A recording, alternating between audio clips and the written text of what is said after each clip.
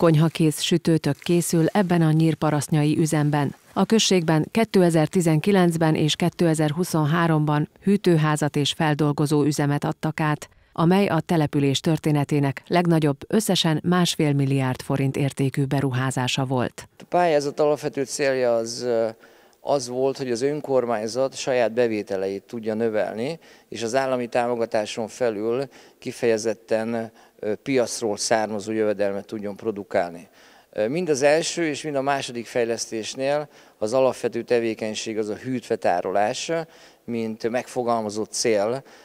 Ez volt a fejlesztések tervezésekor és megvalósítása után is, tehát bértárolást végez az önkormányzat, ezen két létesítmény segítségével, mint egy 2000 négyzetméter felületen tudunk hűtött teret biztosítani azoknak a térségben tevékenységet végző gazdálkodóknak, fiatal gazdáknak, családi gazdálkodóknak, akik úgy gondolják, hogy a a szezonális időszakon túl közép vagy hosszabb távon szeretnék betárolni termékeiket, értve ezzel a szilvát, almát, illetve különböző zöldségféléket.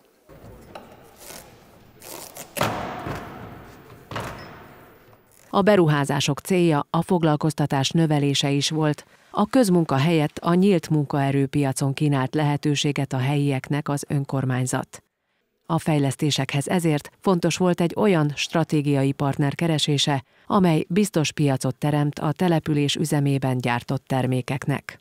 Kerestünk olyan partnert, ahol egy kicsit tudnunk szélesíteni is a dolgokon, másik oldalról meg tudnánk a saját terhelésünket könnyíteni és hát Nyírparasztján találtuk meg, ahol Szabó János polgármester egy agrármérnök, az önkormányzat rendelkezik egy másfél milliárd forint összértékű zöldség beruházással, amiben fagyasztó, sokkoló, fagyasztvatároló, 1500 konténer van a hűtőház mellett, és ez egy olyan masszív műszaki alapot adott, hogy meg ki tudtuk szervezni a termelést, a piacainkat kiosztuk nyílparasznyára, és ma egy 40 hektáros integrációt irányít a nyírparasznyai önkormányzat, de azt hangsúlyozni szeretném, hogy ez ennek köze sincs a közmunkához. Itt ez piaci alapon működik. Az üzemben jelenleg öt főnek tud piaci bérezést biztosítani az önkormányzat. A településvezetés célja, hogy a helyben működő jó gyakorlat hosszú távon működőképes maradjon.